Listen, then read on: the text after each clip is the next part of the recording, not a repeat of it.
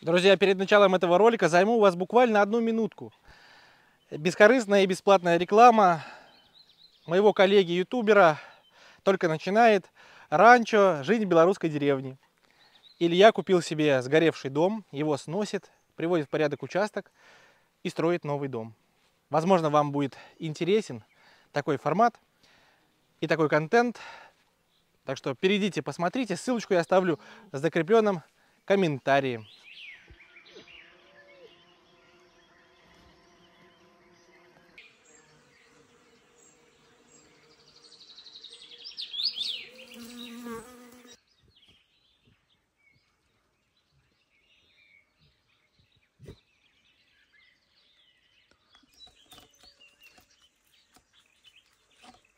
Приветствую вас, друзья! Ну, как вы поняли из названия ролика, из превьюшки, я купил себе еще более старый дом на хуторе. Он вообще послевоенной постройки Первой мировой войны.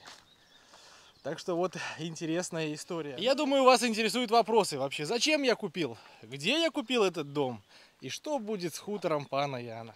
Сейчас я вам про это все расскажу. Первый вопрос, зачем я купил? Страсть у меня до старых домиков интересных с историей. Поэтому, в принципе, и покупаю. Очень люблю отдаленные места, красивые пейзажи. Вы видите, дорога. Кстати, основная дорога не совсем далеко. Здесь грунтовая дорога. Вокруг липы. Пчеловодством буду заниматься. Зачем я купил? Ну, так сказать, судьба мне его подтолкнула. Вот так вот случилось. Ну и самый, самый главный вопрос, что будет с хутором пана Яна. Сейчас рассказываю. Вы готовы? Итак, три, два, один. Тадам! И вот этот прекрасный дом – Ему больше ста лет. К сожалению, крышу придется снести. И сразу же я отвечаю на ваш вопрос. Что же будет с хутором пана Яна? Вот, почему вокруг территория ухоженная? Да потому что я уже больше года работаю.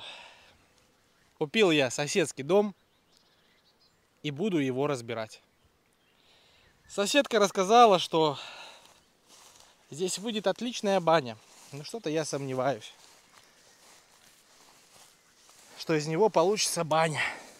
Хорошо, если бы немножко дровишек останется. Потолок, как вы поняли, провалился. Вот так вот.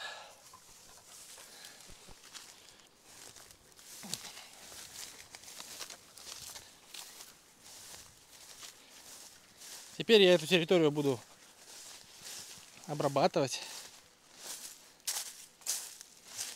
Ну и когда-нибудь на этом месте что-нибудь интересное появится.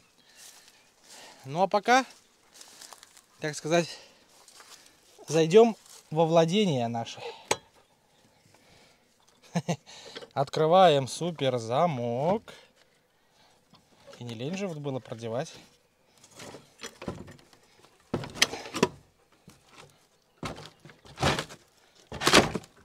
Ой. Ну вот.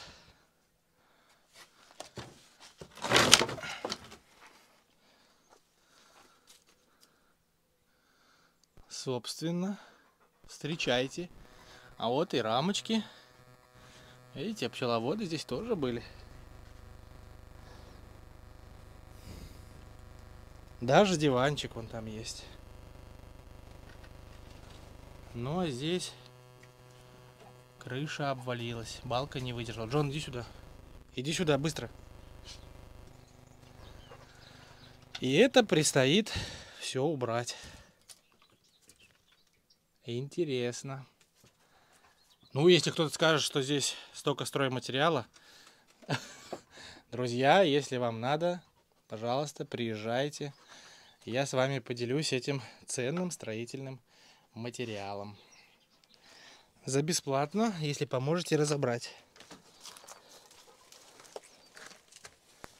Ну, собственно, здесь освободится место, я уберу его. Но у меня есть в планах здесь строительство, но это в далеких планах. Здесь будет кормокухня, склад зерна, столярочку я здесь сделаю. Ну и, наверное, будет гаражик такой. Ангарчик мы построим. Вот. Так что вот так. И, кстати, вот это место тоже, это место тоже будет со временем использовано. И расскажу потом вам, как когда дойдет до этого. Как бы планирую и это место использовать. Ну все, сейчас на этом я завершаю свой обзор. Внутри, извините, мало показал. Вот крышу хочу убрать, тогда покажу побольше. Все, друзья, смотрите следующую часть. На хуторе скоро появится электричество, а я приобрел э, на солнечных батареях вот такие фонарики. Все они идут с датчиком движения, некоторые с тремя режимами работы. Э, вот эти просто загораются и тухнут от движения через 15 секунд, то есть вот датчик сработал, на 15 секунд загорелись. Эти можно сделать яркое свечение одним включением, то есть вот так он светит. Потом можно, чтобы вот так светил, ну и такой полутуск, вот у вас стробит на экран. Это на самом деле не стробоскоп, просто еще один режим свечения. Тоже реагируют они на датчик движения, срабатывает и 15 секунд ярко, а потом тускло. Либо сразу просто тускло, вот они горят, когда сработали и потом отключаются. Ну а также вот такой купил наподобие видеокамеры с пультом управления тоже с датчиком движения. Все они с датчиком движения, все они э, на солнечных батареях работают. У меня есть опыт самых дешевых, без датчиков движения, то есть темно стало, они загорелись и всю ночь до утра они горят. Это на туалете и на дровнике у меня такие висят. Ну а эти я повешу на дом и на сарай, там где у нас наша грядка теплая. Ну, кроме того, что у каждого идет инструкция там хорошо, если на английском языке. Но еще, конечно, еще, конечно, должны быть крепежи. Да, идет вот шурупики, дюбельки, если надо. Ну, мне только надо шурупы.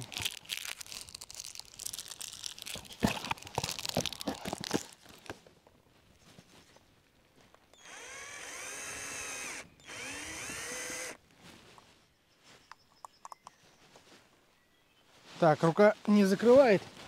Чем-то надо закрыть. Вот.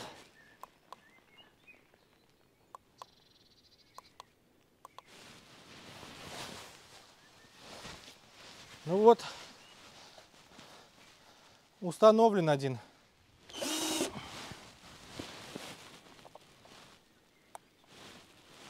Так, ну расскажу вам про устройство. Значит, э, режим на том я настроил он будет загораться, когда там есть движение, там дорожка недалеко, то есть если кто-то только идет, он загорится. Здесь я настроил, он будет постоянно этот угол освещать тусклым таким светом. Вот. И если вдруг сработает датчик движения, то он загорится во всю мощь. Всю ночь он будет тускло гореть, потом, если то есть срабатывает на движение, загорается. Устройство их внутри. Там небольшая платка управления, контроллеры там стоят разные. То есть стоит небольшая солнечная панель, стоит аккумулятор 18 650 наверное вот такой вот стоят и диодов в данном случае здесь 100 диодов и есть вот у меня на 20 и на 30 диодов ну и плюс ко всему датчик движения и кнопочка сама стандартное включение выключение все соединено там проводками там все элементарно просто а, пишут что они там влагозащищены ну защищены только сами панели они залиты также эта платка, она там даже не залита никаким компаундом, просто она в такой коробочке стоит. Туда вода, ну, очень тяжело туда попасть. Вот. Аккумулятор обыкновенно, то есть окисляется, если туда попадет влага и произойдет там коррозия. То есть, ну, рассчитан на то, что они стоят очень дешево. и поменять как бы ничего не стоит. Ну, у меня уже вот там на туалете вдали и на дровнике они стоят давно и работают хорошо.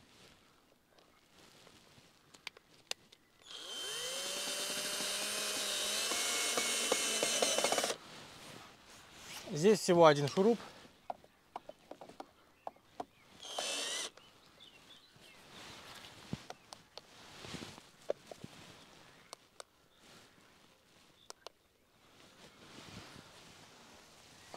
Один шуруп, один режим. Ну, я хочу вам сказать, что лучше такие не покупать, купить лучше на 100 диодов, в которых есть режим такой тусклой подсветки. И когда они загораются ярко, когда срабатывают на датчик движения. Вот тогда та штука хорошая. А эти, ну, в принципе, имеют тоже место быть, но просто если бы они стоили дешевле. Там рубль, даже, даже пускай 2 рубля разницы, ну, как бы, не играет такой роли, те будут повыгоднее. Хочу сказать, что устанавливать их стоит не совсем высоко, потому что, во-первых, э, под крышей меньше солнца будет попадать, хуже будет заряжаться аккумулятор. Во-вторых, датчик движения, который срабатывает датчик движения, он э, у него, то есть радиус действия там 3-4 метра, поэтому не стоит его так высоко поднимать. Такого цветения я в прошлом году не наблюдал здесь. Все очень сильно цветет. Каждая яблонька, каждая. В этом году удался май как раз к цветению яблок. ну, яблок, яблонь все цветет. Некоторые уже чуть-чуть подцветали, вот тем, которые ранние. Ну, а вот здесь вообще... И даже пчелы сейчас, когда идет дождик маленький, они все равно работают. Молодцы пчелки. Буду косить газонокосилкой. Трава выросла, надо покосить. Кусочек вам покажу. Ну и какой-нибудь следующий день объединю. Потому что материала сегодня будет мало. Козьбу вам не снимать не буду. Вот, единственное, что пока стою здесь вот так растет мята. И сейчас дойдем с вами до второй мяты, которая возле дома. Потому что возле сарая мята растет хорошо.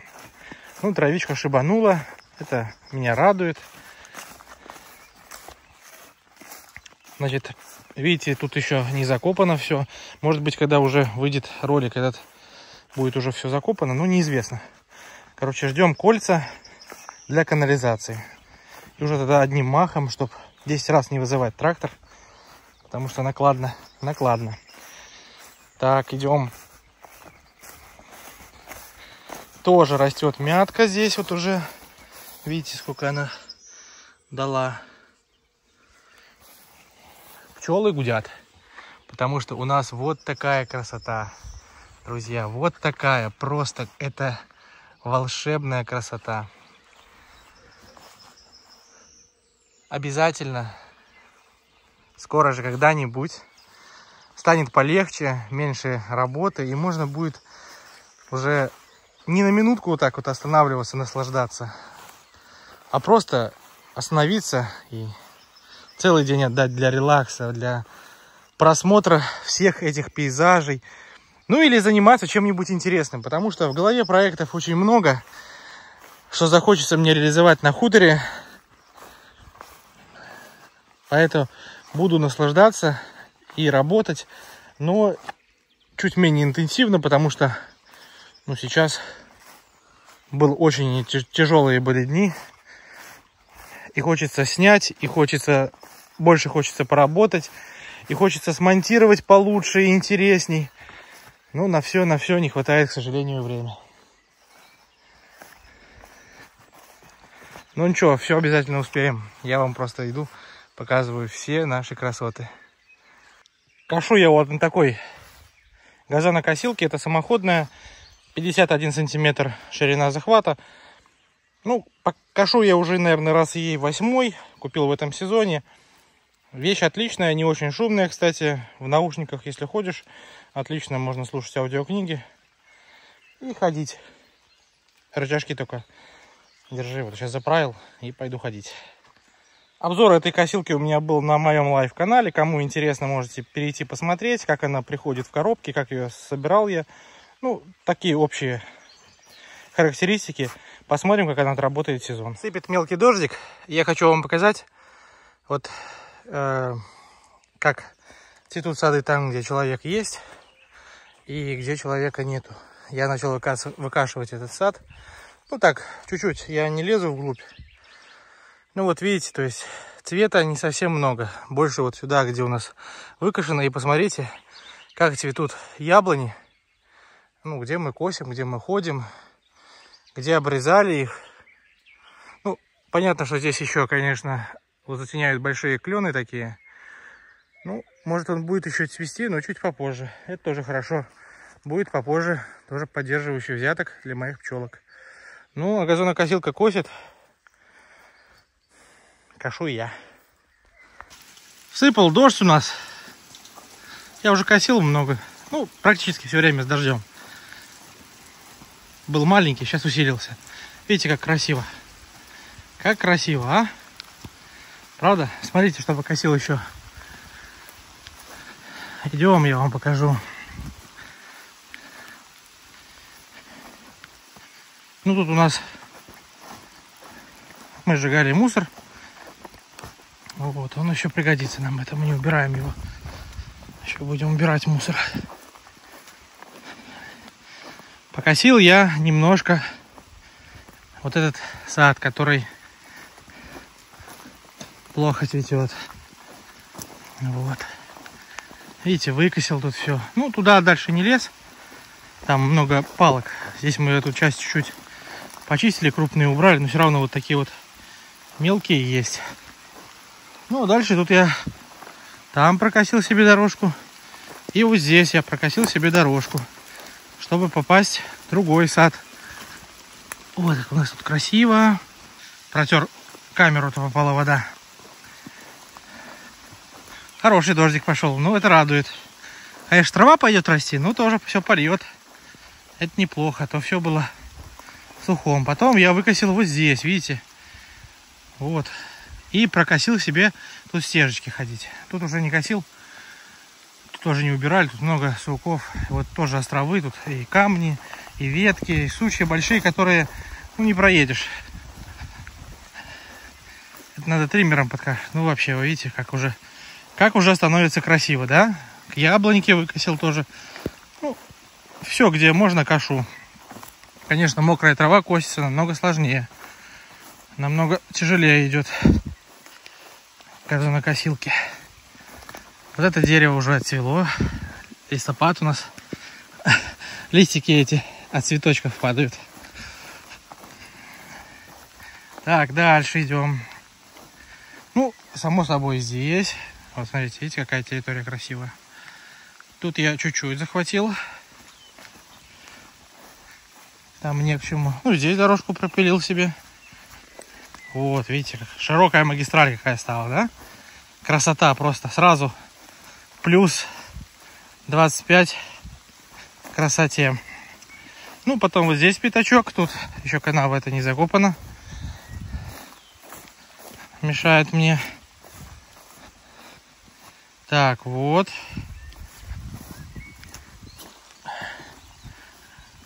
Вот здесь я все покосил. Только остался вот здесь пятак не выкашен, уже заглох. Три раза заправлял, это выпалил три бачка бензина. Тут вот осталось. Вот там я с той стороны, видите, так я похожу по квадрату такому прямоугольнику. Так. Тут же вот все тоже кашу. Все. И вот здесь я тоже прокосил. Первый раз ездил. Далеко там по центру еще тоже пропил такой есть прокос. Ну, э, подсохнет, докошу, потому что мокрая. Во-первых, сам взмок весь. А у нас уже начинает распускаться вот сирень. Ну, погода не сильно холодная. А завтра уже чуть холоднее будет, а послезавтра уже снова будет тепло. Ну, в этом году такие шикарные сады, так красиво. Это мне за мои труды. Я говорю спасибо за такую красоту. Я очень этому рад. Красота. Ух ты, вообще просто. Вот на минутку останавливаешься, смотришь, и просто класс. Ладно, все. На этот день заканчивается. Так, с утра я тут копаюсь уже своей газонокосилкой. Вчера я ударил пень очень сильно, там о, су, о суще. Меняю нож. А тут одно ушко, вот, которое отвечает за мульчирование, вот оно вверху, отломано. И сломали здесь вот такие шпонки. Я сейчас посадил на болты. Такая деталь стоит 7 рублей. Ну, естественно, в нашем городе ее нету, надо заказать.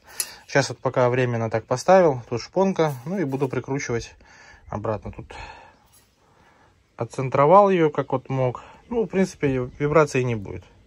Все, сейчас ставлю обратно новый нож и поеду косить. Вот так выглядит газонокосилка уже изнутри. Восьмой раз косил. Ну, то, что краска обубливается, это ерунда. Вчера ее помыл хорошенько. Сейчас установлю, зажму все и пойду косить. Ребята, как приятно полежать на своем газончике. Два дня я его косил, но все укосил. Сейчас вам покажу. Здесь не стал косить. Тут цветут одуванчики. И очень много пчел работают в одуванчиках. Несмотря на то, что у нас вот такая красота и цветут вот так вот все сады. Гул стоит неимоверный. Сейчас уже сегодня достаточно прохладно, но пчелы все равно работали. И если прислушаться, то гудит все. Все цветет, даже эта ранеточка как обильно. В этом году сады цветут неимоверно.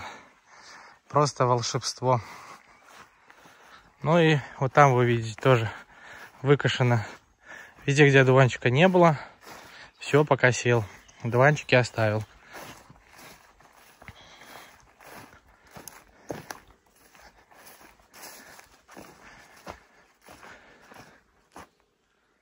пчелы работают еще. Несмотря на это вечер, вообще они допоздна, я посмотрел, даже часов в 9 вечера они все еще летают и приносят обножку.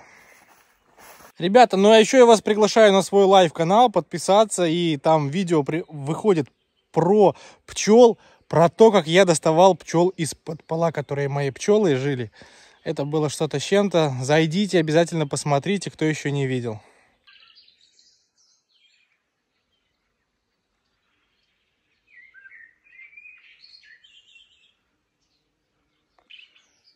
Прилетел дикий голубь. Вот он. Ну что, голубушка? Красавчик ты или красавица? Вот такая природа у нас. Ну давай. Ку-гу-гу. Ку-гу-гу. Делай. И не боится, вот смотрите, села. Я разговариваю громко. Либо что. Друзья, не забывайте поставить лайк, а я вам говорю до следующей серии. В следующей серии я раскрою еще один секрет столетнего дома на хуторе. Так что не переключайтесь, кто еще не подписан, подписывайтесь. Я желаю вам здоровья, пока.